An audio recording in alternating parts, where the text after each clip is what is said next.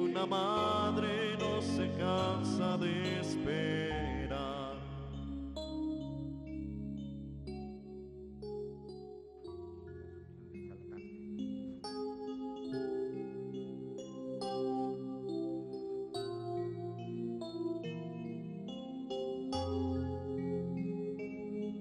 Yo sé que estás aquí, mi Señor. Sé que estás aquí. Yo sé que estás aquí, mi Señor.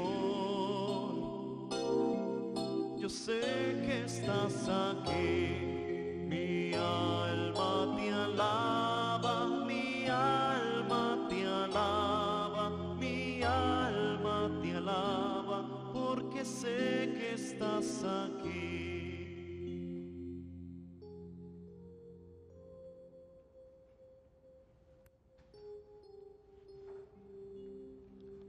Señor mío y Dios mío, creo firmemente que estás aquí, que nos ves, que nos oyes. Te pedimos perdón de nuestros pecados y gracia para hacer este fruto, este rato de adoración con el Santísimo. Lo hacemos unidos a aquellas personas que no pueden ir a la iglesia, que participaron en la Santa Misa ahora, pero virtualmente no se puede comulgar, pero sí podemos hacer una comunión espiritual. Voy a hacer una que hacía San José María. Yo quisiera, Señor, recibirte con aquella pureza, humildad y devoción con que te recibía tu Santísima Madre, con el espíritu y fervor de los santos. Comulgar espiritualmente, esperando volver a comulgar sacramentalmente. Estás aquí, estás en todos los sagrarios del mundo, tristemente en algunos muy abandonados, pero queremos desagraviar por aquellos que no te conocen, por aquellos que te ignoran, por aquellos que te irrespetan. Tú, Señor, humilde, humilde en Belén, humilde en toda tu vida, pero especialmente humilde aquí en la Eucaristía.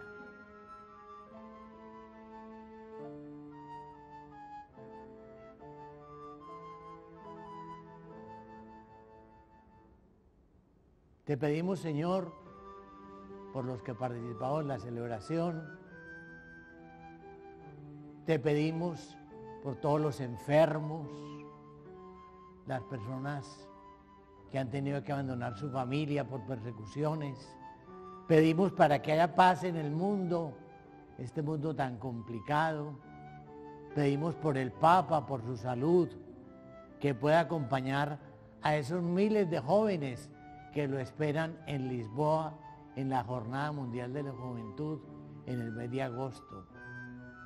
Te pedimos por todas esas labores que la Arquidiócesis de Medellín realiza en tantos ambientes. Te pedimos, sí, por aquellas almas más necesitadas de tu misericordia. Tú te quedaste con nosotros, discretos, sin llamar la atención.